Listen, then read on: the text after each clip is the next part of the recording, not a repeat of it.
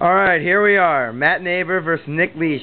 Who can do 20 perfect push-ups the fastest? On your mark. Get set. Go.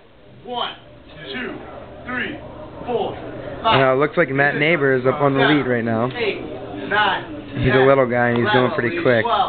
13, 14, Oh, shit. 15, 16, 19, 20.